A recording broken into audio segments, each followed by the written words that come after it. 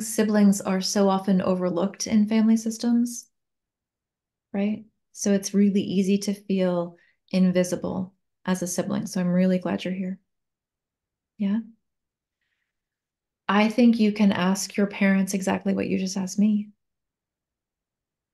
It sounds like you have a family that is pretty good at communicating and pretty respectful of each other. So I think you can ask that. Right? Because I could tell you a bunch of things, but they can tell you best.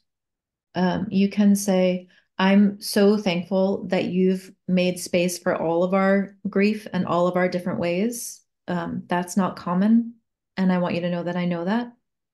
And I'm wondering if there are ways that would feel most helpful for you in the ways that I show up. Is there something that you need from me? Is there part of my own grief that's uncomfortable for you to feel? Um, it's okay to let me know that, right? All you need to do here is open that conversation, like open that door.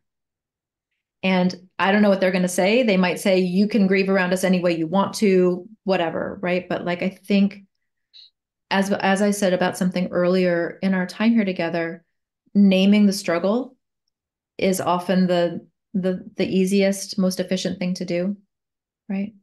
So to be able to say, I'm not sure how to best be here for you and navigate my own grief at the same time. And I wonder if there are two different things here, um, things that would feel really helpful or supportive for you from me.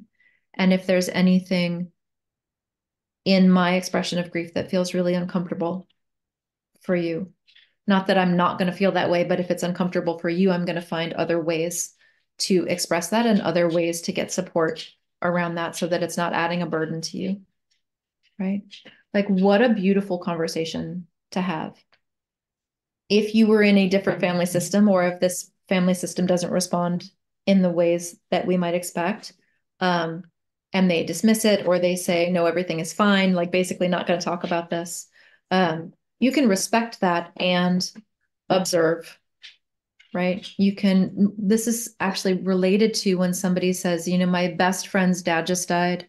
I don't know how to support them. I don't know what to do. And when i ask them they say i don't know right? Because very often people in the middle of great pain don't have the capacity or the resources to identify what they need let alone ask for it.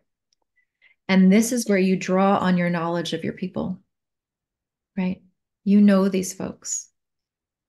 To be able to say something like, this is orders of magnitude different, but I know that when my mom is having a really hard time, they tend to need to blah a bunch of stuff and then like go do something silly.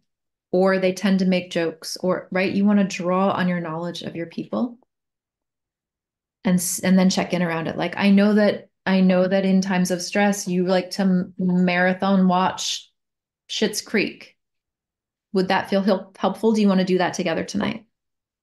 Right? So things like that that are really tangible that can relieve the burden of asking somebody in pain what do you need?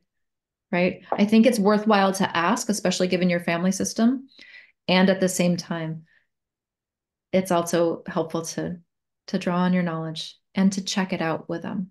Check out the Dougy Center to see if there's any helpful stuff for you as a family system to go through this, to talk about this. They are absolutely accustomed to the invisi- invisibility issue with siblings sometimes.